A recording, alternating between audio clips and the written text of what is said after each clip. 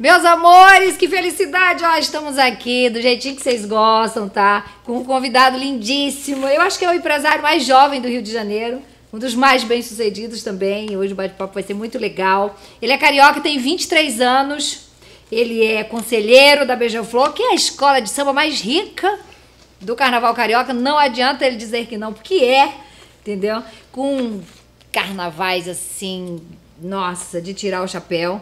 E ele também é metido em outros negócios. Ele é sócio fundador do nosso camarote, que é o camarote mais badalado também da Sapucaí, né? Junto com Carol Sampaio. E também vários outros negócios que nós vamos falar aqui durante a nossa conversa com vocês. Gabriel Davi. Muito obrigado Obrigada, por me receber. Eu faço aqui assim. Obrigado por me receber. Imagina. Super importante, acho que para o carnaval a gente ter esse espaço para debater, para conversar. Eu acho que isso é, é muito bom para a cultura do nosso país. Gabriel, você sabe que me chama a atenção que você é conselheiro da Beija-Flor, não sei por que não diz logo que é presidente da Beija-Flor, entendeu? Vem de uma família quando você com 23 anos, acho que essa hora, nesse calor, né, João, onde que eu estaria? Qualquer lugar, menos trabalhando. Então isso é maravilhoso demais. Isso eu tenho total admiração por você. Obrigado. Conheço sua mãe, a gente divide cabeleireiros, é, seu pai. Isso é muito legal. Isso é, é- isso é, é, para todo mundo, para todos os jovens se inspirarem, né? Porque quando a gente quer trabalhar, a gente quer produzir, a gente quer progredir, independe da família que vem, depende da, né, da grana que tem, ou, ou quer é produzir. Isso que eu acho muito importante. Eu acho isso maravilhoso demais, que eu te vejo trabalhando pra cacete. Gabriel, essa coisa do ramo alimentício também, né? Que não tem muito a ver com showbiz, né? Que você, mexe. E uma, um outro negócio que eu achei super inusitado e uma puta sacada que a coisa de essa, essa as pessoas ficam, quando você vai colocar um costeiro, aí ficam falando, ai, você tá usando penas. As plumas, que- as plumas. Né? Você tá usando penas, você tá matando bicho, e você abriu um, um ou trouxe pra cá um negócio de vender plumas Especiais. artificiais que deve estar vendendo horrores, porque hoje as pessoas não estão mais usando penas. É, na verdade, assim, uma das coisas que a gente mais buscou fazer na Beija-Flor nos últimos anos foi buscar esse lado de su- de sustentabilidade. Como é que a gente consegue reaproveitar material, como é que a gente consegue né, reutilizar para não necessariamente ter que jogar fora alguma coisa, agredir das menores formas do meio ambiente, né? E acaba que o carnaval ele demorou muito para pensar nisso. E a- as plumas, a ecopluma, ela acabou sendo uma, uma possibilidade, do- acho que da, do elemento mais luxuoso que se tem no carnaval, que eram as plumas, que é um, um ponto de vista técnico para o jurado fundamental e para o público também, né? Você percebe aquela escola que tem mais pluma e tal. E é uma coisa até então muito cara, a gente conseguiu encontrar um produto que ele é reutilizável, que ele não agride o meio ambiente e que ele é mais barato do que o produto original, né? Que eram Sim. as penas do- dos animais. É, então, assim, eu acho que isso é uma mudança de chave para os próximos carnavais. Acho muito improvável Mas já estão usando gente... muito, né? A minha do ano passado, desse ano, eram plumas, né, brancas, lindíssimas e que fica e é muito parecido com a com a, A pluma dificuldade, na verdade, era você reproduzir isso em escala, né? Porque acaba que a gente vê muito isso em fantasia de destaque, mas tem escolas que usam isso em fantasias convencionais. Às vezes você pode usar isso eh, como um, um elemento ceno- cenográfico de um carro alegórico, de algum elemento que vai ser utilizado no desfile. E a gente conseguir reproduzir isso em escala para poder atender todas as escolas, poder atender todo o público, até o mundo fora do carnaval, né? Que também utiliza muito essas plumas. É, eu acho que isso realmente é uma virada de chave, uma coisa que a gente está apostando muito aí para o próximo ano. E não dá pra vir sem. Eu ousei vir um ano sem, botei luzes, fiz sei lá o quê, mas parece que você vem igual uma, um- É uma- uma galinha né? depenada, sabe? Aí tem o movimento da pluma, tem toda Sim, uma. tem, a co- é, tem todo o charme, não dá pra não ter, gente. E alimentos também, do, do- no- né, pra, pra galera fit. Então, isso foi uma, uma história super interessante. Na verdade, a FITS ela veio de um funcionário meu, na NAD Park, a empresa de gestão de carreira de artistas, que eles fizeram. Tinha essa empresa que tinha começado com o objetivo de fazer uma pizza fit para uma galera que queria comer pizza, mas a pizza era gordurosa demais, tinha caloria demais. E eles foram fazendo diversas pesquisas para ir melhorando o produto e aí chegar eh, em pizzas low carb, sem glúten. E eu acabei descobrindo essa história. E no meio da pandemia, o Fábio Porchat abriu ah, uma possibilidade de microempresas, microempreendedores, é, inserirem as empresas dele dentro desse programa, onde ele selecionaria as três melhores, que ele mais se identificasse e viraria garoto propaganda de graça. E aí pediram ajuda, esse funcionário nosso pediu ajuda uh, ah, para montar essa apresentação, que é o que a gente faz, né? O que eu mais gosto de fazer é montar a apresentação, é vender. Esse é, é o meu negócio de fato. É, e aí a gente ajudou ele a, a, a, montar isso, junto com outro sócio meu lá no escritório. Eles deram entrada nesse programa do Fábio e ganharam. O Fábio Pochá virou garoto propaganda da Fitza. E aí precisava de mais investimento, para investir em marketing, né? para poder comunicar que o Fábio Porchat tinha virado garoto propaganda e poder melhorar o produto, poder aumentar né, é, a, a, a dimensão da marca. A gente agora para o ano que vem quer abrir é, novas sedes, no, novas lojas. É, e aí precisava de investimento para isso e para posicionamento de marca também. Aí eu entrei nessa história por causa disso e estou me apaixonando, porque é um, tem cases lá, eu adoro projetos sociais, sou muito apaixonado por isso, por questões sociais em geral. E a gente tem cases dentro da pizza de uma menina de 11 anos de idade que nunca tinha comido pizza na vida dela, porque ela tem aquela doença celíaco, né, que você não pode comer glúten. Então ela nunca comeu uma pizza por conta ah, disso. E a gente foi fazer uma entrega para ela e com 11 anos de idade ela pode comer pela primeira vez uma pizza na vida dela. Então tem uns cases super legais que não é só da, não é da só questão a venda fit, do produto, é, e não é, é, só uma questão. Então a gente também agora a, a loja fica ali no Arpador, perto da Galeria River. A gente está tá agora abrindo uma escolinha de surf para só de projeto social para ajudar crianças ali do, do Cantagalo, do Pavão Pavãozinho, a poderem seguir uma carreira dentro do surf, que também está ligado a essa questão de fi, do fit, né, que a gente Sim. leva dentro do nome da própria, da, da, própria pizza, para poder dar mais oportunidade para as pessoas que precisam. Né? Eu acredito muito nessa ideia em todas as minhas empresas, sem exceção, eu tento levar um pouquinho para esse lado também. Gabriel, eu fiquei sabendo, tá, que eu, eu amo carnaval, então eu fico meio que por dentro do, do, das coisas que estão acontecendo e acaba chegando até mim. Que você foi uma das pessoas que lutou muito para que o carnaval não fosse adiado, para que tivesse carnaval esse ano. Tá? Ficou para 9 e 10 de julho? Ficou para 9 a 12, né? 11 e 12 desfiles uh, Sim, é, grupo especial. A gente fala 9 e 10 porque as escolas né, do, do grupo especial é. É, é, é acesso 9 e 10, hum. 11 e 12 desfile das escolas do grupo especial. E vai ter normal, tipo, as campeãs, tudo? Quarta-feira de apuração, ah, sábado normal. das campeãs, é, de julho. mesmo formato. Tá. Tá. E se até lá não vier a história da vacina do Covid? Aí babou tudo, aí tem que adiar para 2022. Mas e todo o trabalho que foi feito? Não, mas aí ele vai ficar para 2022. Não só o trabalho, mas o investimento. Investimento da TV Globo, investimento do governo do estado, né, receitas que a Liga pode arrecadar com patrocinadores né, nesse, nesse espaço de tempo. Isso vai ter que ser adiado para 2022. É, assim, a gente está tentando ao máximo fazer esse carnaval em 2021. Eu acho que ele é muito importante para o futuro do espetáculo. Acho que pular um ano pode ser crucial em alguns aspectos. O carnaval vem de alguns anos já de crise financeira, é, de, de, problemas de pagamento, de funcionários que não recebem em dia, é, de fornecedores que não recebem da forma que gostariam de receber. E eu acho que esse pessoal todo ficar um ano sem trabalhar eu vejo duas saídas. Ou eles vão encontrar outra coisa para fazer da vida e dificilmente vão voltar a trabalhar com carnaval, ou eles vão morrer de fome, porque eles não vão ter dinheiro. Isso é fato. Então, é muito, muito importante que a gente consiga fazer esse carnaval em 2021. Se Deus quiser, a gente vai ter essa vacina e a gente vai conseguir fazer. Você chegou a ameaçar, tipo, nas redes sociais, tipo, é, eu, eu largo mão do carnaval caso não aconteça esse ano. É, não era caso ele não aconteça. Tipo, se não hum. tiver vacina, eu sou o primeiro a falar que não Sim. tem que ter, né? Acho que a primeira coisa que tem que se prezar é pela saúde das pessoas. Mas na liga se discute carnaval, não se discute saúde. É óbvio que você tem que entender os fatores externos para tomar suas decisões, mas você não pode discutir se e quando vai ter vacina. Você recebe essa informação de fora, dentro da liga. Né? E o que aconteceu é que eu fui buscar essas informações. Eu fui na Fiocruz, eu fui no governador, é, eu tive com o deputado Luizinho, que é o presidente da seção externa da, Covid-19 em Brasília. Uh, então, assim, eu, eu, fui buscar essas informações para ver se era possível ou se não era. Quando eu vi que talvez fosse possível, a gente precisa começar, precisa tentar. Se a gente não tentar agora, se a gente chegar em março e perceber que dá, não vai dar tempo de fazer. Então você precisa ter um tempo de planejamento, né? E graças a Deus, com um pouco de tempo que eu tenho no carnaval, eu sei quanto tempo demora e a dificuldade que é para fazer um carnaval. Então eu, eu, eu, entendi o momento que você tinha que realmente botar os presidentes na mesa e falar: e aí, vocês vão querer fazer carnaval? E os 12 presidentes, sem exceção, votaram por querer fazer o carnaval dentro de uma plenária E a liga demorou para passar essa informação, demorou para passar para a Globo, demorou para passar essa informação para o público em geral. Então ficou naquele cenário de incerteza de uma coisa que já tinha sido decidida. Então o meu ponto era, se isso já foi decidido, se dentro da liga a plenária é soberana, se isso não for acatado, se isso não for respeitado, perdeu-se todo o motivo de estarmos aqui.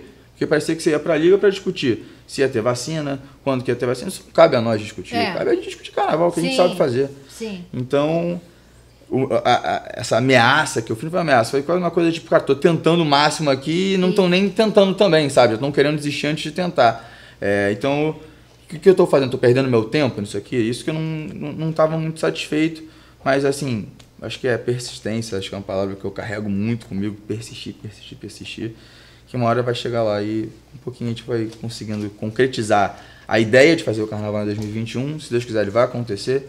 E outras mudanças que a Liga tem que fazer ainda. Gabriel, você é um bebê perto daqueles, né, daquele, daquela galera toda, os presidentes das escolas de samba, a galera que faz carnaval desde sempre. Você vem com tua, tua, teu sangue nos olhos, né, com a tua jovialidade, com a tua vontade de fazer. E, e consegue reunir essa galera para que se discuta algum assunto. Você acha que se você não fosse filho do, do, do, cara mais.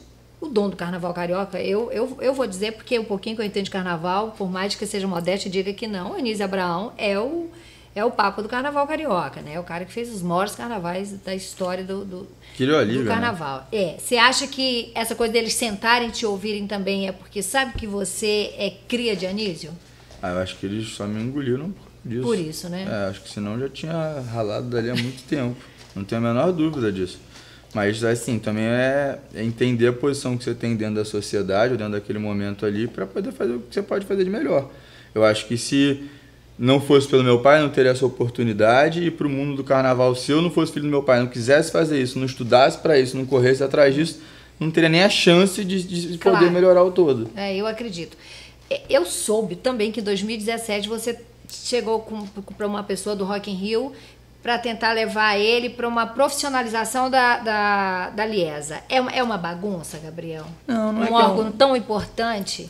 Não é uma bagunça, é muito longe disso. Porque olha só, eu ouvi dizer que ainda vendem ingresso por fax. Ainda existe fax? É, é. Eu fui falar de isso. Como é que faz fax? É. Como é que eu, eu, nem sei mais usar um fax? Eu já um dia eu usei um fax, mas não lembro, João. Como é que alguém vende o ingresso pelo homem? Vende o ingresso. Tu, tu, tu, negócio passando. Como é que é isso, Gabriel? Em 2017, quando eu decidi começar a falar uma coisa ou outra de carnaval, eu dei uma entrevista que eu falava que se o carnaval não mudasse, ele ia acabar. Na época, aquilo porra, foi a primeira vez que eu recebi crítica de fora na minha vida, né? De pessoas que eu não conhecia. Que, né? que tipo de pessoas? Tipo, ah, você entrava na internet para ver os comentários daquela entrevista, o pessoal tava falando que era o filho mimado do Anísio, querendo mandar em tudo. E é o que eu, ah. eu discuto normal, faz hum, parte. Hum. Não deixo de ser também. Né? Não, tô, não, não me excluo dessa posição. Mas... De filho de Anísio, não mimado. É, não, mas mimado um pouco também. É. É, tive uma vida, tenho uma vida maravilhosa, só posso agradecer por isso mas também procuro criar as minhas necessidades. Mas né, você, mas você argumenta com não, não coisas que fora da realidade por ser mimado. Você não, não. Eu acho que o ambiente de trabalho não cabe você ser mimado, cabe você é. ser coerente. Eu, eu, eu, aceitava assim as críticas de forma geral. E quando eu falei isso, é, muita gente me criticou e eu insinuei essa questão do fax. Eu falei, uma das coisas que são bizarras dentro da liga é o fato de que se vende ingresso por fax. E aí o povo do samba bateu em mim, o pessoal, mas se apegou muito a essa ideia. E fala-se muito nessa ideia de que vende ingressos de fax até hoje. E é um fato, não é mentira. Vende-se mesmo. É, mas assim, são várias coisas assim que tem, que tem meio de bizarrices que acontecem na liga, que não é que é desorganizado ou que é uma loucura ali dentro, longe disso. A liga é uma empresa organizada, ela é você montar um carnaval e fazer um carnaval da forma com que a liga faz, com pouquíssimos ah, funcionários. Sim é uma loucura. Se você entrar no Rock in Rio, você vai ver funcionário pra caramba, você vai ver gente pra caramba trabalhando, você vai ver terceirização de, é, de, de, setores fundamentais, como por exemplo vendas. Sim. Rock in Rio não faz venda própria, ele terceiriza a venda. Sim. Né? O carnaval não. O carnaval ele faz tudo sozinho. Então, assim, Existem empresas no mundo que elas investem bilhões de dólares por ano para garantir segurança é, do cliente que está comprando na internet, para garantir é, parcerias com redes de cartões de crédito, formas de pagamentos diferentes, para garantir qualidade é, da sua experiência de compra, o maior ingresso. espetáculo, se é Alberto da Terra, tem que existir uma... É lógico, mas aí, aí, aí que entra meus questionamentos. Então, será que a liga que está certa em, em, não ir atrás dessas empresas que só fazem isso e querer achar que ela vai fazer melhor do que o resto? Então, são uma série de, de questionamentos que eu fui ponderando, também fui entendendo o outro lado da história. Né? No início era muito aquela vontade de mudar radicalmente, que é sempre para fora de alguma forma, quando a gente vê algo que a gente não concorda, né? É, mas acho que com o tempo eu também fui amadurecendo e entendendo como lidar com aquilo ali. Que no fundo, no fundo, é uma politicagem que você tem que fazer Sim. também, né? É, e fui melhorando a minha relação, entendendo cada vez mais, podendo me aprofundar mais nos assuntos para poder falar com mais propriedade, poder vislumbrar soluções melhores. E eu acho que cada vez mais se aproxima do momento que a liga vai mudar de fato. Eu acho que esse entendimento ele já é geral dentro da liga, se fala abertamente sobre isso nas plenárias. Alguns presidentes de escola são mais incisivos em relação a isso, onde no passado ninguém nem tocava nesse tipo de assunto, né? Parece que quando eu falei disso a primeira vez eu estava falando o maior absurdo do mundo. E hoje você vê recentemente várias e várias entrevistas, várias pessoas concordando com o fato de que se o carnaval não mudar, ele vai Sim. diminuir, vai, vai, vai cada vez ficar menor, o que não é o objetivo da festa. Porque tem que, tudo tem que se adequar, como que o carnaval não vai precisar se adequar? Porque tem é. que. Gabriel, é, a sua relação com o Castanheiro, Jorge Castanheiro, como é que é? É boa, acho que assim, são duas relações diferentes, né? Uma relação pessoal, o Jorginho me conhece desde que eu nasci, eu tenho pô, um respeito, uma admiração e um carinho por ele gigante, é um amigo da minha família. É, é Agora, como profissional, presidente da liga, eu já fiz algumas críticas a ele, enfim, já tivemos Sim, algumas. Está saindo esse ano, tá? Na verdade, a gente tem uma eleição que ela é marcada para abril, que provavelmente vai ser adiantada por conta do, do carnaval ter mudado, né? Se ele acontecesse em fevereiro, ele faria o carnaval em fevereiro, aí fecha as contas da liga e abre-se a eleição em abril. Como o carnaval mudou para julho, a gente entendeu lá dentro da liga e ele mesmo entendeu que fazia sentido adiantar essa eleição. Até comentou que ela poderia acontecer em dezembro, mas acho que dezembro não, deve acontecer ali em janeiro, fevereiro do ano que vem.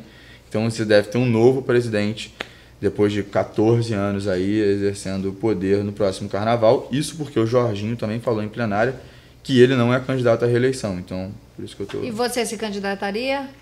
Não me candidataria, eu nem posso me candidatar, porque para você ser candidato na liga, você tem que ser benemérito. Eu não sou. É, é, ou então tem que ser, tá, ser vice ou presidente de uma escola que esteja na liga há mais de três anos. Tem isso lá no estatuto. É, mas assim, eu, eu, não tenho como eu ser presidente da liga ainda. Eu tenho muita coisa para aprender, muita coisa para fazer na minha vida né? pessoal. Né? É, eu tenho minhas empresas, né? O carnaval eu não ganho dinheiro nenhum para estar ali na Beija-Flor, né? Muito pelo contrário, eu faço aquilo ali por amor. Mas eu tenho as minhas obrigações, né? E hoje em dia, graças a Deus, eu tenho uma equipe brilhante ali dentro que me dá esse respaldo para poder né, trabalhar nas minhas empresas Você também. Você tem um nome? Usaria falar um nome do seu agrado? Ah, acho difícil. Acho que tem algumas pessoas ali que podem ser presidente da liga, mas eu acho que a figura do presidente, na verdade, ele vai importar menos. Acho que o que realmente é fundamental é que essa chapa nova ela tem uma estrutura organizacional diferente da chapa atual. Eu acho que o que falta para a liga, primeiro, é mudar a base. Mudar a base da empresa. O que, que é isso? Como é que funciona a liga hoje? Vamos, vamos dar exemplo para ficar mais fácil para o pessoal entender. Uh, hoje você tem um departamento comercial, que basicamente vende patrocínio, se relaciona né, com, com os parceiros do carnaval, e você tem um departamento de vendas. São departamentos que eles estão em lugares diferentes, eles mal conversam entre si e não tem ninguém que una eles, por exemplo. Né? Se você pegar uma empresa não vou dizer nem as mais atuais, não, mas empresas um pouco mais modernas, assim a gente pode dizer, são departamentos que eles estão dentro de um departamento maior de marketing, então eles têm que conversar. A comunicação também está ligada com esses departamentos, porque a forma com que você vai vender depende da forma com que você vai se comunicar, da forma que você vai vender para o seu patrocinador depende da forma que você vai comunicar para o seu público que aquele patrocinador está fazendo dentro do seu espetáculo. E essas áreas, elas não se comunicam dentro da liga. Eu estou dando um exemplo, mas são Sim, diversos. Sim, mas eu diria então, então que a liga está com um problema para escolher esse próximo presidente. É, estruturalmente ela vai, ela vai ter que mudar, mas eu acho que essa mudança vai acontecer. Isso já é uma coisa que é discutida dentro do conselho da liga. É, sei disso, meu pai faz parte desse conselho. É, então, assim, eu acho que essa mudança ela vai acontecer. Acho que esse próximo presidente ele entende também que essa mudança, quem ali sentar na cadeira, quem se dispor para sentar ali, já vai chegar com o entendimento de que isso é fundamental, porque você teve, é, enfim, o carnaval acabou sofrendo por, por não fazer essas mudanças, né? Sofreu principalmente financeiramente, o que gerou essa crise toda que se já no carnaval. Não é uma crise tão complicada de se resolver, não. Mas assim, ela precisa de vontade, precisa de gente que goste de estar ali, que saiba o que está fazendo ali também. Não que as pessoas que estão ali não saibam, mas tem que se adaptar ao mundo atual. Eu, eu, voltando para Beija-Flor, eu lembro que a Beija-Flor tinha um histórico de que não gostava de artistas na escola. Por exemplo, tem a Cláudia Raia, que é uma, uma, né, uma figura que faz parte da Beija-Flor desde sempre. Aí veio aí junto o Edson e agora o Enzo, que sempre participou, sempre fez parte ali da bateria e tal. Mas somente a família da Cláudia, né? A Cláudia, marido e filho. E aí, acho que de uns dois anos para cá, eu comecei a ver outros artistas e tal. Isso tem a ver com você?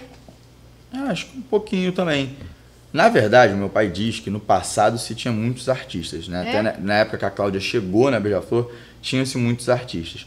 Mas aí ele fala que começava a gerar muito problema, era muita demanda, muita loucura, Não, e que precisava focar, precisava focar na comunidade, precisava focar... Meu amor, foram 12, 13 anos de Grande Rio. Olha, o que eu chegava a falar, Jaide, pelo amor de Deus, o que, que essa, essas criaturas estão fazendo? Mas o Jaide gosta, o Jaide é noveleiro, então ele gosta de artistas de novela na Grande Rio. Mas é uma, um amor passa daquele camarim, você vê a confusão que é. É, é um horror. E, e, aí ele falou, ele entendeu que dentro da questão de carnaval, dele, técnica de carnaval, ele tinha que dar mais valor para a comunidade. Eu acho que a grande virada de chave da Beija-Flor vem quando ele começa a despertar esse olhar e entender a importância da comunidade, isso que depois todas as escolas acompanharam, inclusive a própria Grande Rio mais recentemente.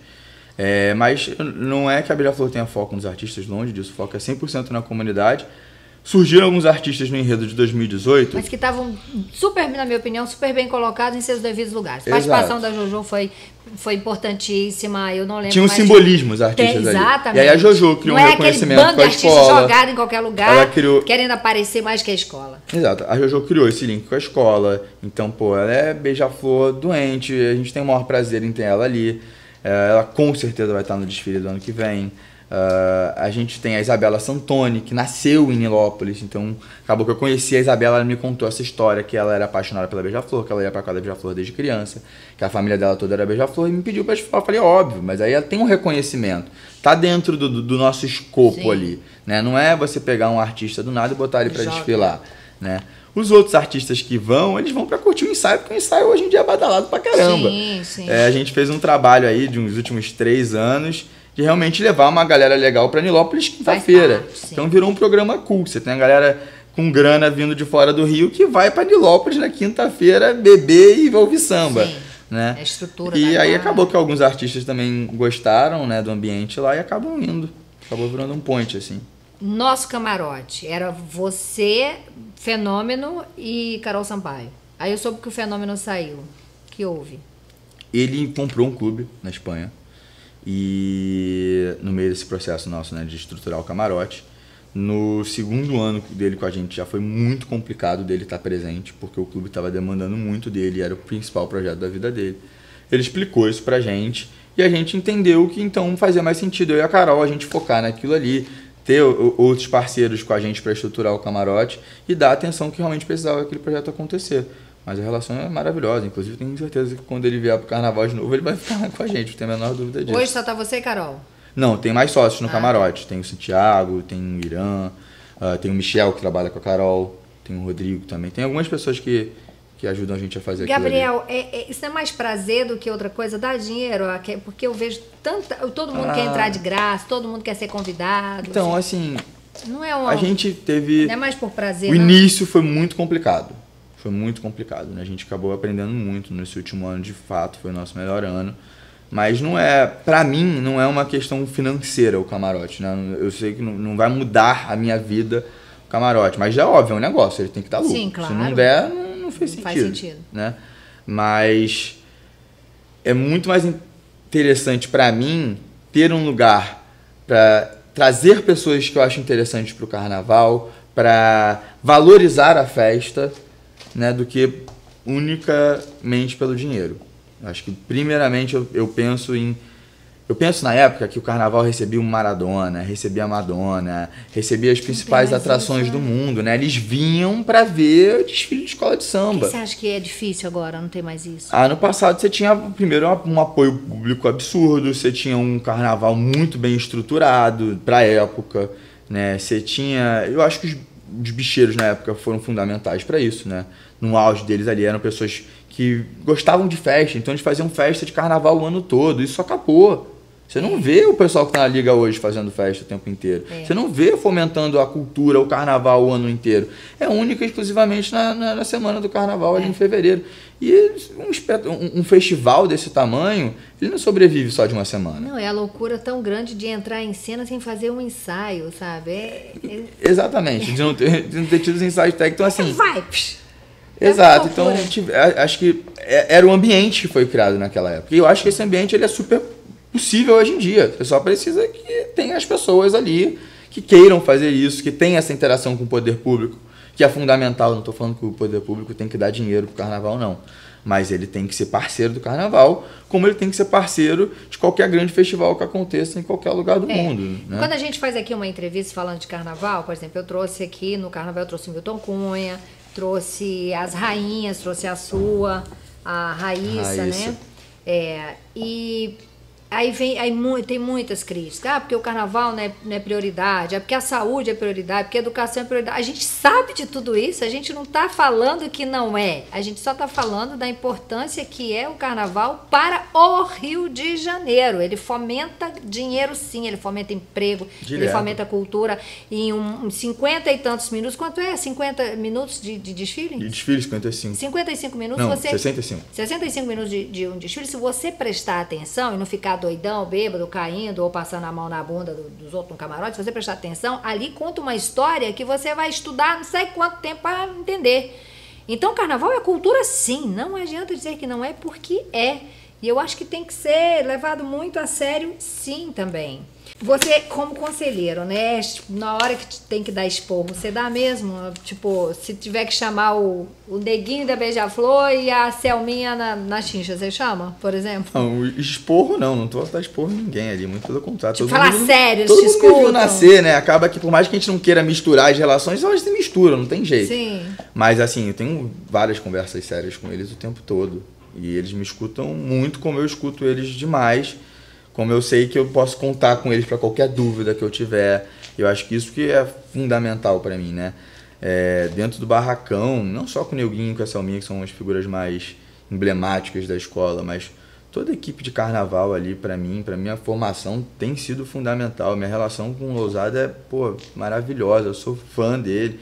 E... Eu fui rainha de bateria do Lousada. Lousada é maravilhoso. É, então assim, isso para mim tem tem sido muito bom, né? Eu procuro o máximo trocar essa ideia com eles ali e, enfim, sempre ganhar conhecimento e passar também visões diferentes. A gente tem vidas diferentes, gerações diferentes, então acho que a gente se engrandece quando a gente troca. É, mas sempre foi muito proveitoso, nunca tive nenhum problema desse tipo. Falando em neguinho, eu lembrei que outro dia eu li uma coisa bizarra no Google, que o Google tinha tirado o nome neguinho da Beija-Flor, porque não pode mais usar o, nome neguinho. Eu fiquei surtada, eu falei que vai ser o que agora, e gente? é nome próprio, né? Tá na identidade dele, trocou é nome, tudo. Tá na identidade, eu querem tirar a identidade de neguinho da Beija-Flor, entendeu? Mas é um absurdo, é bizarro isso. Isso não aconteceu não, né, gente? É, tá lá. Mas o Google tira, mas é, tá lá. Não vai tirar não, tá na identidade, gente. Morram. Ai, meu Deus do céu, tá namorando? Não. Não tem tempo pra namorar? Não, tem, tem. Assim, Não uma, é com a pandemia é mais difícil, né? Acaba que você, você sair, conhecer gente, fica muito ali na base da Para internet. Para que você namorou na pandemia. Não, mas eu comecei antes. na pandemia, não. Eu, come, eu conheci antes, comecei antes, foi tudo antes da pandemia. a pandemia foi. É. A pandemia foi fundamental para dar um. para acabar com o negócio. É. Ai, que maravilha. Mas é, mas, é, mas é mais complicado na né, pandemia. Mas eu também tô numa fase que eu tô, tô bem sozinho, tô é. curtindo, é. Tá é curtindo, bom, é olha, eu nem falo a turma do Gabriel. Imagino que deve estar curtindo muito mesmo. O Gabriel tem uma polêmica em relação ao nosso camarote, né? Nosso camarote é o nome do camarote dele, gente. que o som é muito alto, né? Os outros camarotes, eu, eu não sei se é se os outros camarotes, né, promovem essa essa é, é, essa confusão aí pela concorrência, não sei. Mas tem isso de que o seu camarote, o som vaza para Sapucaí, vaza para os outros. Na verdade, essa polêmica em cima do, do, camarote, ela surgiu desde antes do nosso camarote existir, né? É, com, com esses camarotes que já tinham as boates, os shows dentro deles. O nosso camarote há três anos, mas esses formatos devem existir há uns seis, sete anos, pelo menos. E era uma polêmica que o som vazava ou para Sapucaí, ou vazava para arquibancada, atrapalha o público para assistir, ouvir o samba. Uh, eu acho que hoje é difícil. Eu, eu, eu, confesso que eu não, a gente não tem relatos na liga de vazar o som para Sapucaí, mas ainda existem relatos do som vazar para arquibancada. Inclusive a liga fez um, um, um contato com o Ministério Público uh, ah, para resolver esse problema, porque de fato o que acontece é os camarotes eles pagam um valor muito alto para a liga para estarem ali. Eles arcam hoje com cerca de um quarto do, do custo da festa, do custo das escolas, é cerca de um milhão e meio, um milhão de reais por escola que os grandes camarotes juntos né, bancam dentro do carnaval hoje. É, e acaba que a liga ela autoriza esses camarotes a fazer a boate dentro deles, ela oferece essa infraestrutura que na verdade em alguns casos não é nada. Não, não é nada. E, e, eu vou dar meu, meu, meu depoimento pessoal, gente, que graças a Deus eu sou convidada para todos os camarotes e, e, nos últimos três anos eu fui musa do Arcoador, mas eu devo dizer que assim, em termos de estrutura, de palco, de tudo, o seu camarote é o que realmente compensa pagar e, e ir, porque a estrutura é melhor no geral. A gente investe geral. bem, né? A gente investe muito bem ali. Mas acaba que a gente tem alguns fatores que são muito limitantes.